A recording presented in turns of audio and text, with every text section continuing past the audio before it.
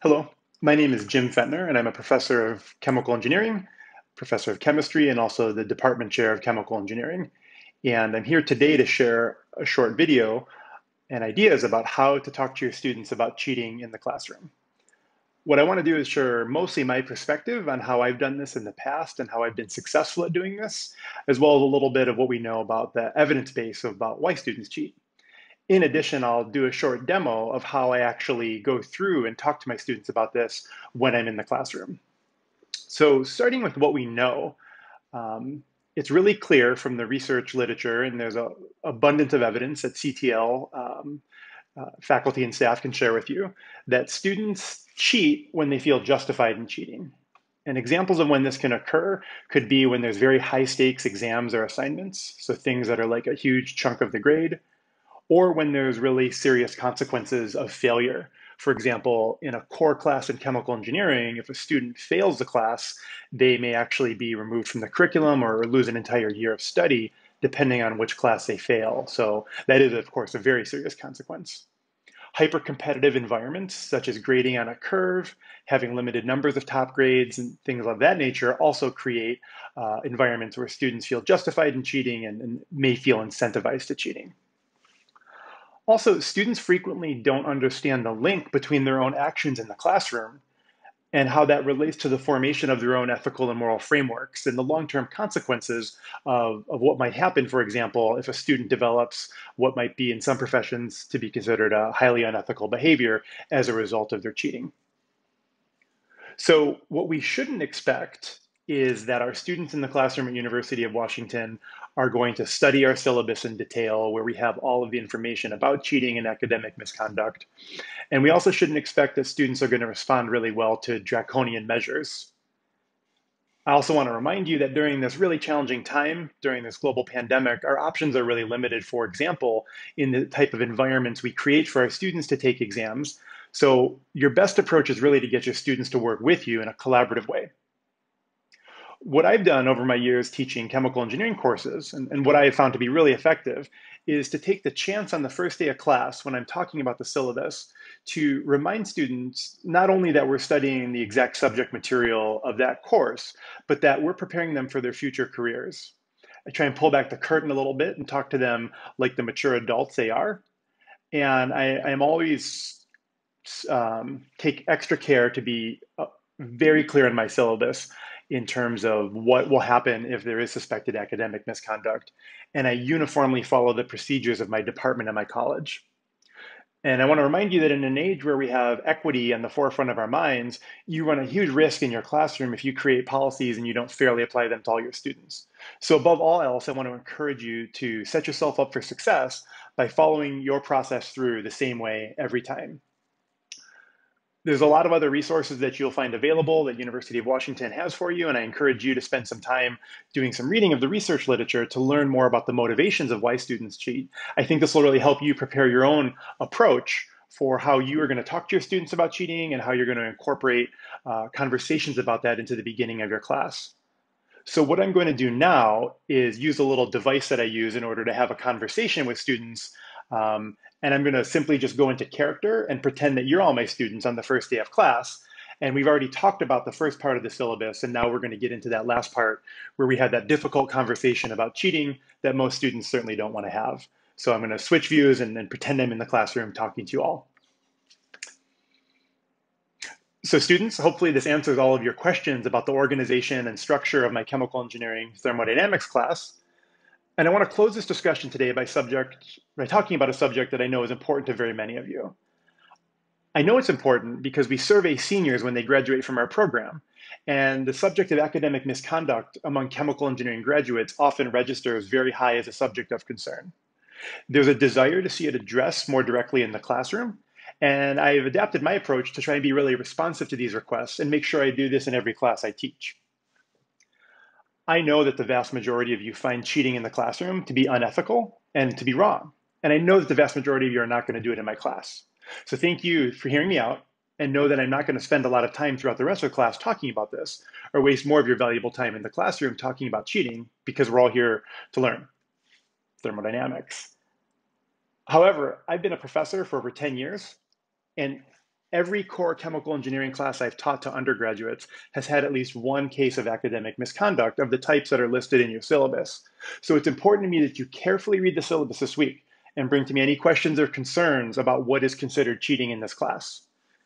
Now, the syllabus explains all the nuts and bolts of what will happen if there's a suspected case of cheating.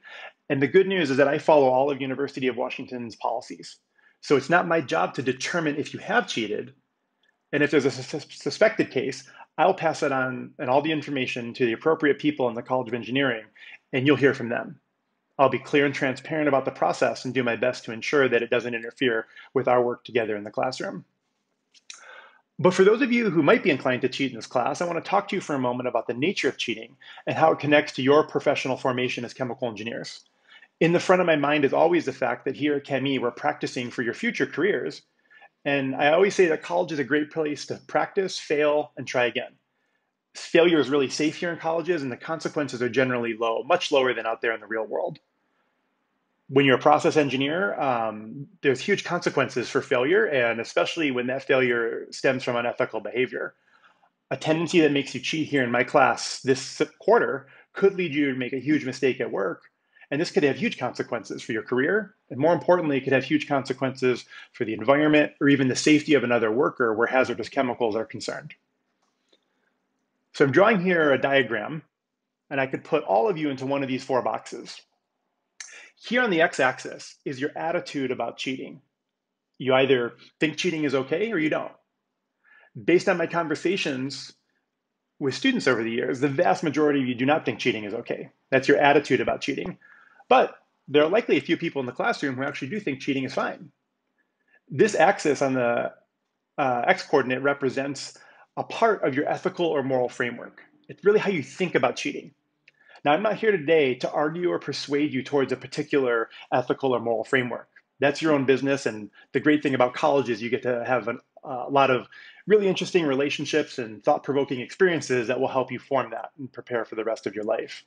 But I want you to understand that you bring your own ethical and moral framework into my classroom, and that will evolve or change over time. So you should take stock and really clearly understand about whether you think cheating is okay or not, and in what context. Now, here on the y axis is your tendency to act a certain way about cheating, your actions. In this class, you will cheat or you won't cheat. It's as simple as that. So I could put all of you now in one of these four boxes.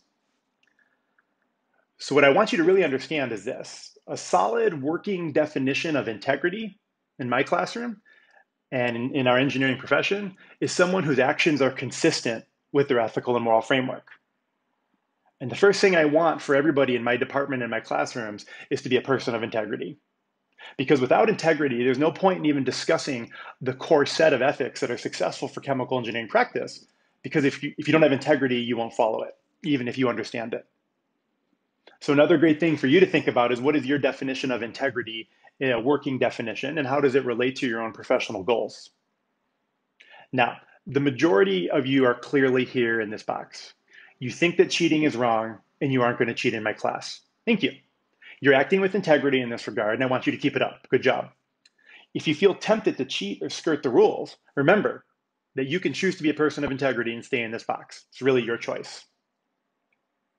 The majority of people who do wind up cheating are in this box here. You don't think cheating is okay, but you did it anyway.